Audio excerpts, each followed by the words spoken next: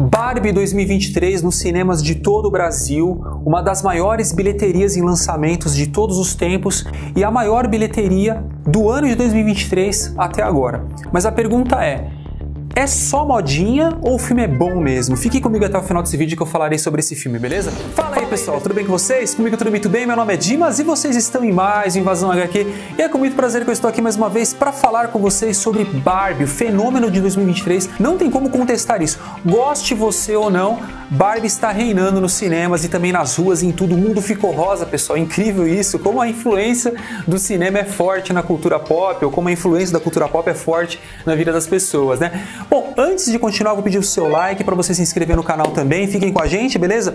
E agora respondendo ali a pergunta que eu mesmo fiz, mas antes eu quero que você responda. Deixe nos comentários aí se você achou o filme de Barbie apenas mais uma modinha, né? O marketing incrível e feito em torno do filme, ou se realmente o filme é bom, se realmente esse filme é legal? Deixe nos comentários que eu quero saber. Bom, minha resposta, a minha resposta é que sim.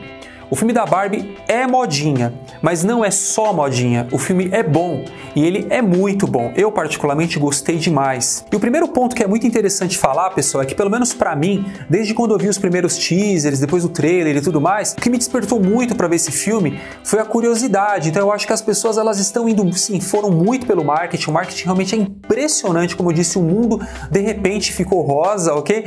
Mas a curiosidade das pessoas, o que esperar de um filme da Barbie, meu? É completamente maluco isso, né? Essa ideia nunca tinha vindo na minha cabeça.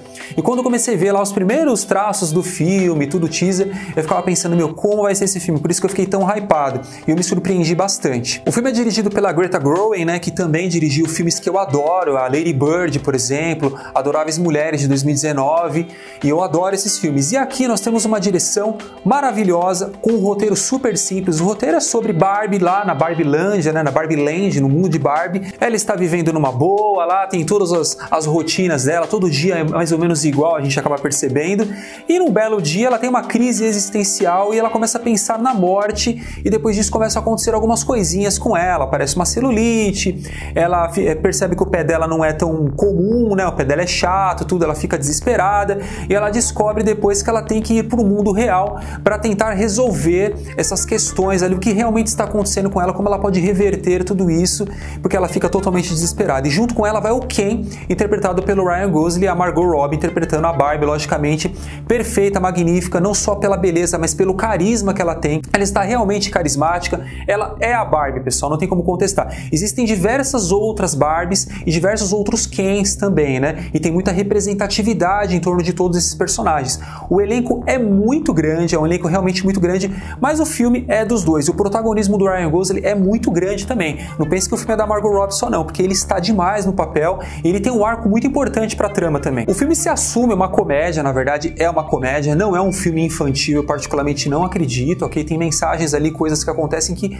uma criança não vai entender, pelo menos na minha opinião. E o filme ele tem um arco dramático, não é tão grande, tão forte, especialmente no ato final, tem ali um, um draminho um pouquinho maior, pode ser até que escorra uma lágrima sua, mas o filme ele é mais pautado na comédia e sim, existe uma pauta, só que tudo é feito de uma forma muito inteligente inteligente, na minha opinião, e tudo muito de uma forma muito sensível e muito sutil. Por quê? Porque o filme sim, ele tem uma crítica ao patriarcado, ele tem, mas não é só isso não. Muita gente não entendeu. O filme ele tem várias outras críticas e várias outras mensagens também. Por exemplo, uma mensagem muito forte sobre o peso que tem no mundo de ser uma mulher, né? Principalmente para o mundo que é predominantemente, né, na verdade, dominado por homens. Então é muito complicado é, realmente ser mulher muitas vezes, né? Muitas vezes é complicado. O fardo muitas vezes vezes é muito grande. Então o filme ele também passa isso. Existe um discurso no meio do filme que é realmente muito reflexivo, muito emocionante, inclusive.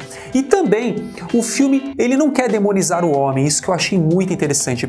Pelo contrário, o filme ele faz alguns elogios ao homem. Ele desconstrói um pouco de um estereótipo que está se formando aos poucos, né? Do homem escroto, do red pill, que todo homem é assim. Então o filme ele acaba desconstruindo um pouco esse papel.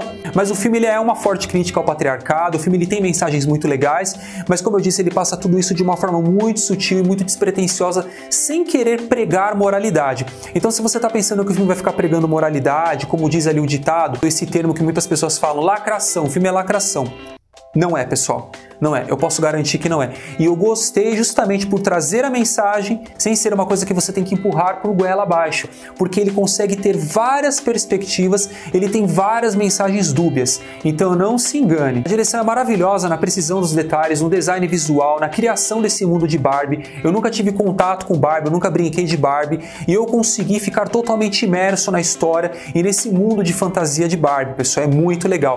Não procurem ali lei da física, não procurem entender porque, ah, como eles vão para Barbie Land e depois eles voltam. Não fiquem se perguntando, não fiquem se questionando, questionando as coisas, porque é uma fantasia e é tudo muito bonito. A trilha sonora é muito contagiante, existem algumas músicas mais conhecidas da, das pessoas, né? Isso é muito legal. Fora que existem diversas referências de grandes filmes de Hollywood, grandes filmes da história, pessoal, do cinema. Eu achei isso muito legal, principalmente no começo também. Se você gosta de cinema, eu não vou deixar spoiler, vou deixar você adivinhar lá qual filme é a principal referência de Barbie. O ritmo do filme ele é muito legal, ele não é cansativo, é um filme que ele não é curto, acho que é duas horas quase de filme. Eu, meu, pisquei, o filme acabou, sério. E algumas coisinhas que eu não curti, por exemplo, eu não curti muito como não achei qual é o sentido, por exemplo, de terem deixado os homens do mundo real, né, tão idiotas, meus homens são muito idiotas. Eu achei isso aí um pouco desnecessário, não tinha cabimento para mim, na minha opinião, não me, não me falou nada, isso não me, não me trouxe nada, não me trouxe nenhuma experiência diferenciada pro filme.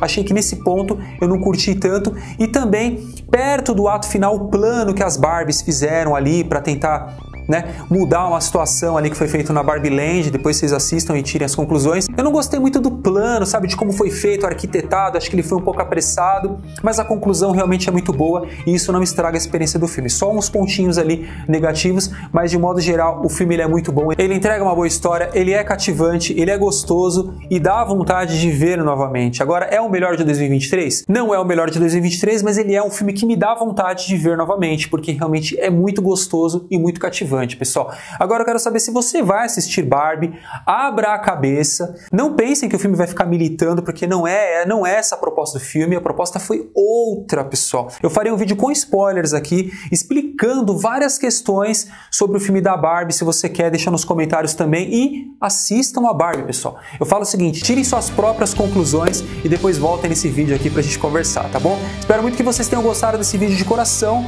Depois me falem se vocês gostaram. Beijo, até a próxima e é nóis!